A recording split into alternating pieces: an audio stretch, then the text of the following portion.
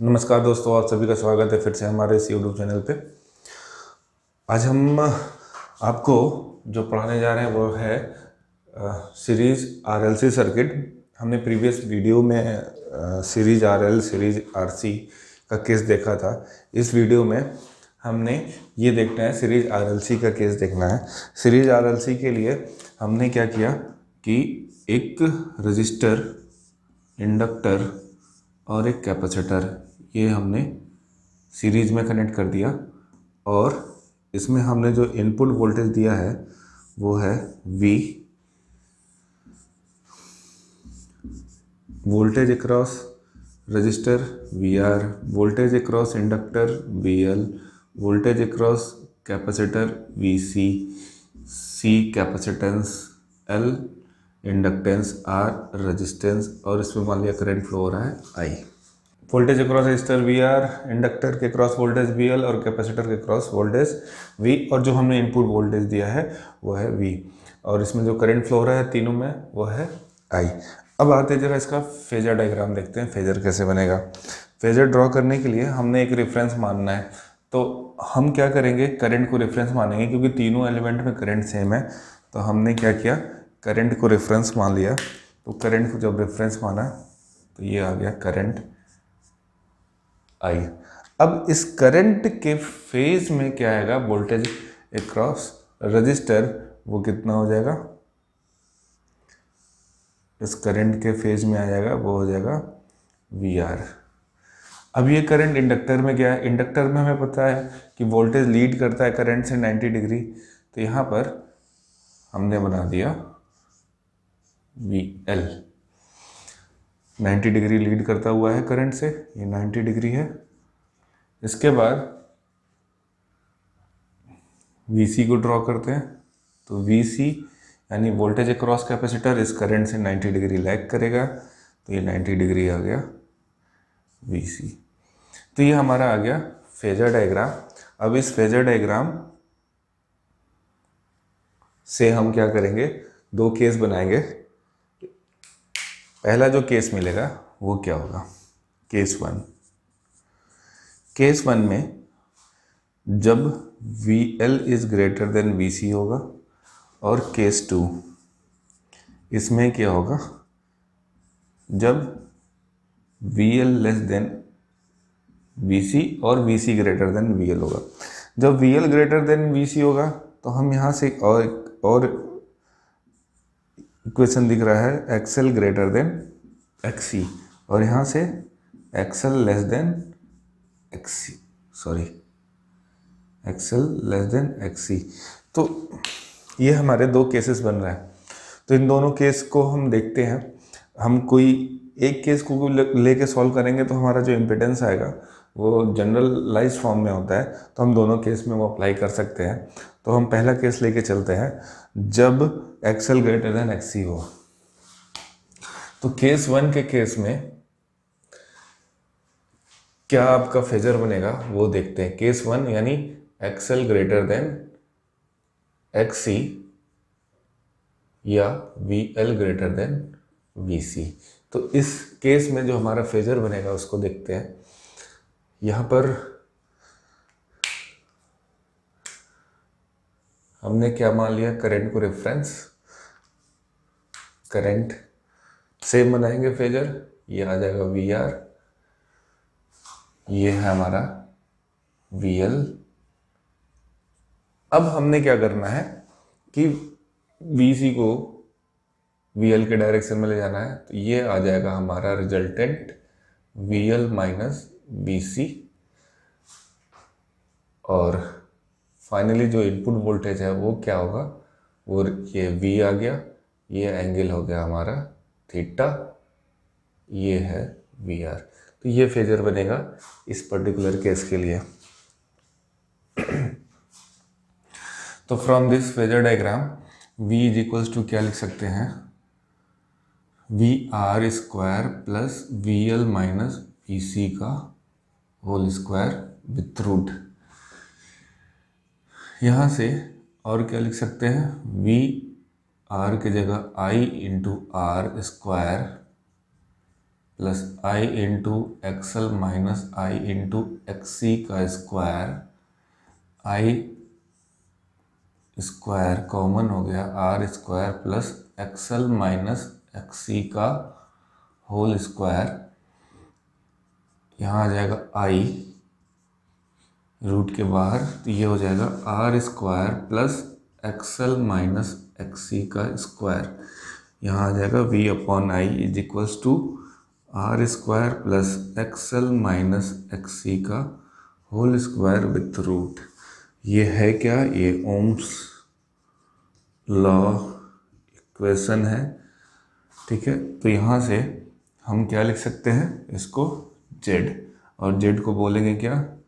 Impedance ये होगा impedance और इसकी यूनिट हो जाएगी अगेन ओम। तो ये आ जाएगा ओम। तो V upon I is equals to Z यानी V is equals to I into Z ये ओम्स लॉ इक्वेशन हो गया। अब जेड इज़ इक्वल्स टू क्या लिख सकते हैं? Under root R square plus XL minus X C का स्क्वायर ये हमारे पास आ जाएगा इम्पिडेंस का इक्वेशन अब हमने क्या करना है कि ये जो फेजर है, इसको ट्रायंगल में चेंज करना है। तो हम क्या करेंगे इसका? इसको वोल्टेज ट्रायंगल और इम्पिडेंस ट्रायंगल दोनों में चेंज करेंगे। कैसे चेंज करेंगे? वो देखते हैं।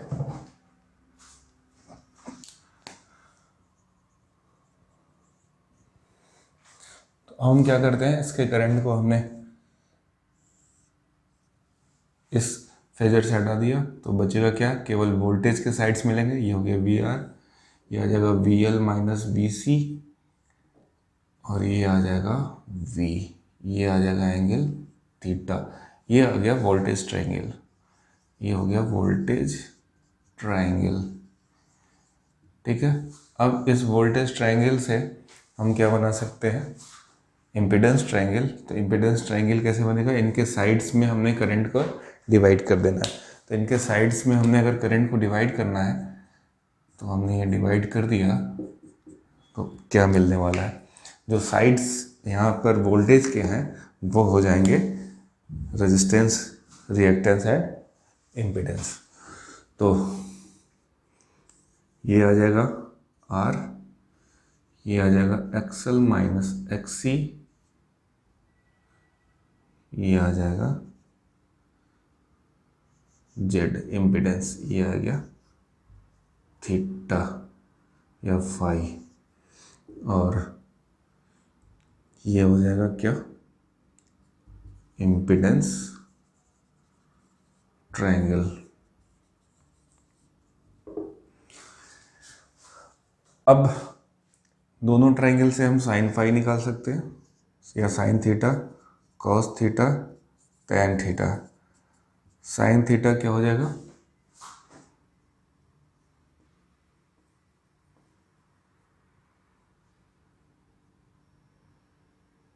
V L minus V C upon V cos theta हो जाएगा। वी आर अपॉन वी और टेन थीटा हो जाएगा। V L minus V C upon V R impedance triangle से क्या हो जाएगा?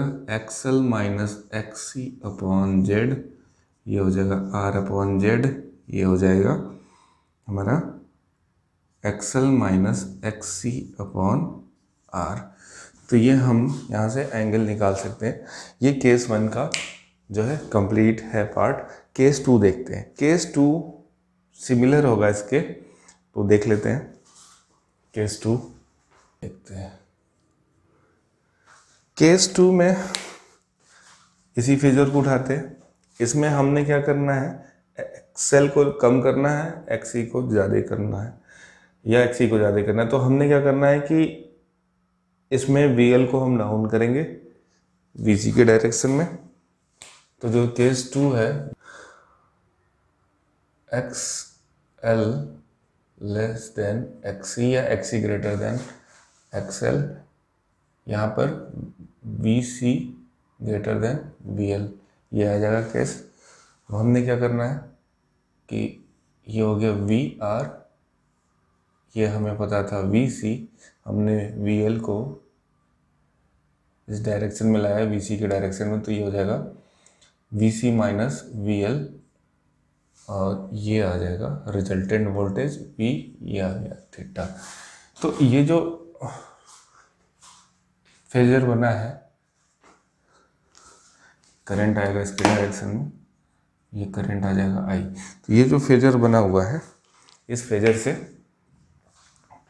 हम इक्वेशन जब फाइंड आउट करेंगे तो v इज़ इक्वल्स टू क्या आ जाएगा?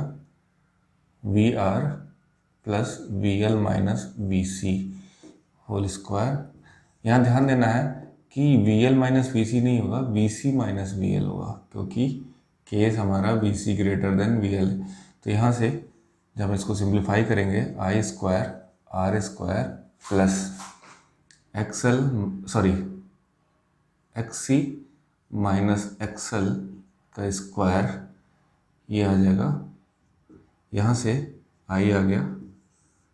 बाहर तो R square plus X C minus X L का स्क्वायर ये हो गया वी तो वी अपॉन आई ये क्या देगा इम्पिडेंस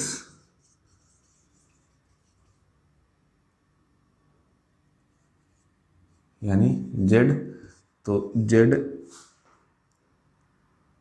इंटू आई ये हमारा हो जाएगा क्या? वी ये ओम्स लॉ इक्वेशन है। और जेड बराबर क्या लिख सकते हैं हम?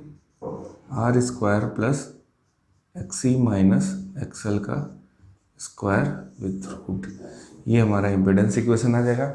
अब यहीं से हम क्या कर सकते हैं? इसको वोल्टेज ट्रायंगल में बदल सकते हैं। तो हमने वोल्टेज ट्रायंगल में बदल दिया और साथ में करंट ट्रायंगल में भी सॉरी इम्पिडेंस ट्रायंगल में भी चेंज कर सकते हैं। तो ये हो जाएगा आर ये हो जाएगा X E minus X L ये आ जाएगा वी ये आ गया थीटा तो यहाँ से सॉरी जेड यहाँ से हम again sine theta cos theta tan theta ये तीनों कैलकुलेट कर सकते हैं, निकाल सकते हैं, यानी थीटा निकाल सकते हैं। तो यहाँ से साइन थीटा क्या हो जाएगा? V C minus V L upon V या X C minus X L upon V cos theta हो जाएगा। आर अपॉन जेड या V R upon V tan theta हो जाएगा। V C minus V L upon R V R या X C minus X L upon R तो यहाँ से हम एंगल निकाल सकते हैं। तो हमने दोनों केस देखा। दोनों केस में जो हमारा इम्पेडेंस आया है, वो कुछ ये है। Z is equals to R square plus X L minus X C का होल स्क्वायर विथ रूट, यहाँ पे क्या आ जाएगा? Z is equals to R square plus X C minus X L का स्क्वायर विथ रूट। तो ये हमारे पास दो इम्पिडेंस इक्वेशन मिलेंगे। अब दोनों सिमिलर है, बस केस का ही डिफरेंस है। यहाँ पर हम क्या देख रहे हैं? एक्सएल माइनस एक्सी कर रहे हैं एक्सी माइनस एक्सएल कर रहे हैं। बस यही चेंज है और ये जनरल इक्वेशन है जनरल एक्सप्रेशन है। इसका यूज़ हम करते हैं इम्पिडेंस फाइंड करने के लिए। अब यहाँ पर हम कॉस फाइव पे ज़रा ध्यान दें। कॉस थीटा पे ध्यान देते हैं। कॉस थीटा क्या है? कॉस थीटा है आपका पावर फैक्टर कॉस थीटा है यहाँ पर पावर फैक्टर और थीटा क्या है ये? थीटा है फ़ेज़ एंगल और ये है पावर फैक्टर फ़ेज़ एंगल का कोसाइन ले लिया जाए तो पावर फैक्टर आ जाएगा। पावर फैक्टर क्या होता है? आर बाई जेड या वी आर अपॉन वी तो ये फॉर्मूला है जिसका यूज़ करके हम पावर फैक्टर निकालते हैं। इसमें हम पावर फैक्टर को लेकर थोड़ा कंक्लूड करते हैं। एक चार्ट बनाते हैं। हमने एलिमेंट ले लिया। एलिमेंट पहला रजिस्टर दूसरा इंडक्टर तीसरा कैपेसिटर यहाँ आ रहा है फ़ेज़ एंगल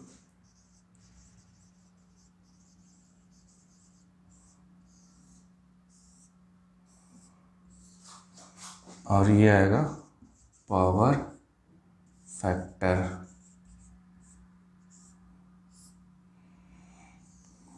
चलिए देखते हैं। रजिस्टर के रजिस्टर प्योर एलिमेंट के केस में हमने अच्छा यहाँ केवल रजिस्टर लिखा है, यानी प्योर का केस है। इस केस में हमने क्या पढ़ा था? इस केस में जो फ़ेज़ एंगल मिला था, वो ज़ीरो मिला था ज़ीरो डिग्री जो voltage between sorry phase angle between voltage and current वो ज़ीरो डिग्री था. There is no phase difference between voltage and current तो पावर फैक्टर क्या हो जाएगा? तो कॉस ज़ीरो तो कॉस ज़ीरो की वैल्यू होती है वन तो प्योरली रजिस्टिव के केस में पावर फैक्टर हमेशा क्या होगा? वन होगा. यहाँ आते हैं इंडक्टर प्योर इंडक्टर केस है तो यहाँ फ़ेज़ एंगल आएगा 90 डिग्री यहाँ पर जो पावर फैक्टर होगा कॉस 90 वो कितना होगा? पावर फैक्टर आएगा कॉस 90 कॉस 90 की वैल्यू क्या होगी? ज़ीरो तो प्योरली इंडक्टिव के केस में पावर फैक्टर होता है ज़ीरो प्योरली कैपेसिटिव का केस देखते हैं तो प्योरली कैपेसिटिव के केस में क्या हो जाएगा? कॉस 90 अगेन ये हो जाएगा ज़ीरो यानी प्योर रजिस्टर हो तो उस केस में वन होगा पावर फैक्टर प्योर इंडक्टर और प्योर कैपेसिटर हो तो पावर फैक्टर होगा क्या? ज़ीरो। अब इनका कॉम्बिनेशन देखते हैं। कॉम्बिनेशन में अगर आर एल का केस आ जाए सीरीज़ आर एल का केस है तो सीरीज़ आर एल के केस में जो फ़ेज़ एंगल है, वो डिपेंड करेगा सप्लाई वोल्टेज और करंट पे। या ये कह लीजिए रजिस्टर और इनके इम्पिडेंस पे। तो फ़ेज़ एंगल इस पर डिपेंड करेगा। तो फ़ेज़ एंगल डिपेंड करेगा। Phase angle depend on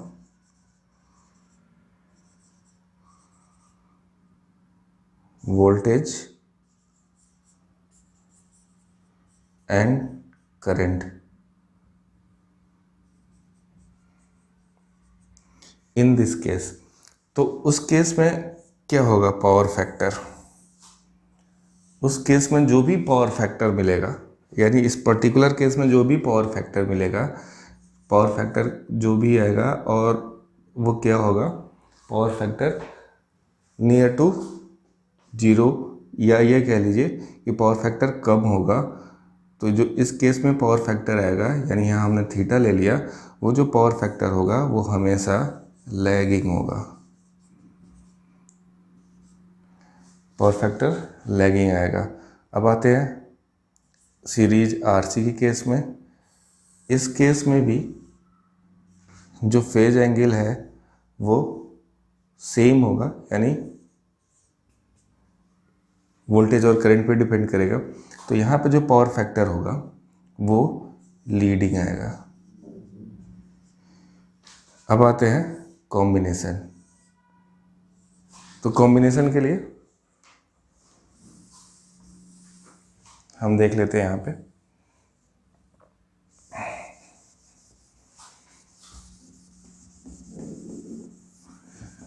combination आएगा। तो कॉम्बिनेशन में क्या होगा? आ, तीन एलिमेंट ले लेते हैं। तीन एलिमेंट आर एल सी अब इसमें दो केस बनेंगे। जो पहला केस आएगा इस केस में दो केस बनेंगे।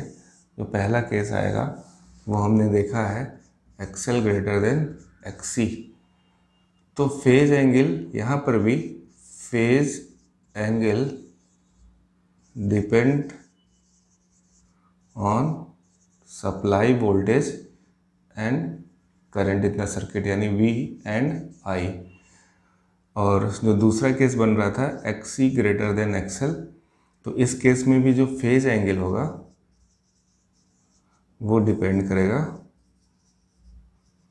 वी एंड आई इस पर डिपेंड करेगा।